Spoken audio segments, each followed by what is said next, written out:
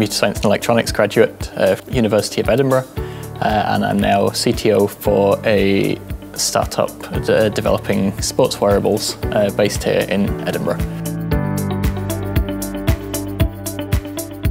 I graduated in computer science and electronics. I'm one of the founders of a sports technology company based in Edinburgh.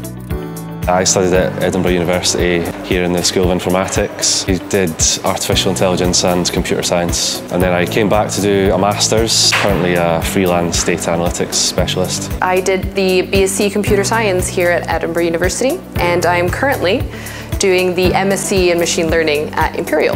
I did a master's in artificial intelligence and back then I focused on machine learning and robotics. I'm a PhD student here at the University of Edinburgh in the School of Informatics. I'm studying machine learning and in more specific terms explainable machine learning, so explainable AI, trying to actually explain outputs of neural networks or other not understandable things to uh, the general public. System design project was a chance to apply apply theory again to sort of experience working as a, as a development team and really build something that's more complex and allows for developing uh, software engineering practices. It, it, was a really exciting project. Um, it was a lot of work, but I feel that it really sort of gave us the opportunity to collaborate quite a lot, and you know there was a lot of, lot of motivation uh, from working together. It was a very strong love-hate relationship experience. Uh, at the time, I did not enjoy it, but the minute it was over, I did. Uh, partly because I was very, very proud of my end product and I was able to win awards for it and I've been able to talk about it and use it in job interviews since then, which has been really, really cool.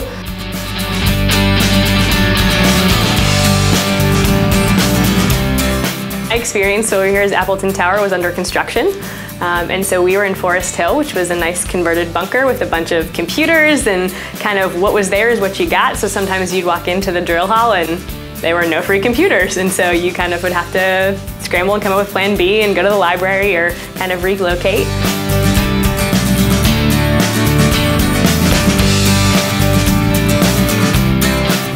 I mean, we've seen a lot of development uh, throughout the university uh, over the last couple of years. Um, I've been, I'm through fairly regularly. I still do some work with the with the student union, um, and every time I go through, uh, there's a huge amount of change going on.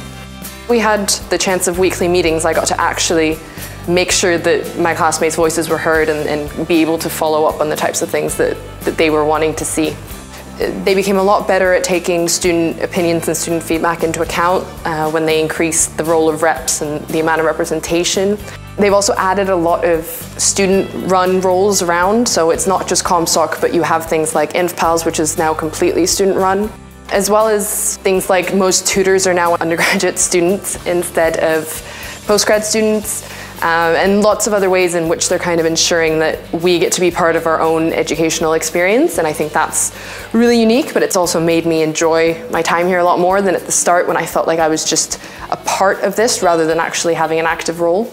And when I came here, there's obviously this massive campus all around me and all these opportunities as well. Suddenly you have companies knocking on the door like Google or Facebook and they're just here to like casually give a talk about things. And then just also like the students here as well, it just overwhelmed me how many backgrounds there are of so many different students. And it's just really cool to see them all come together and we're all kind of united by this one passion of kind of wanting to learn more about AI and so on and so forth.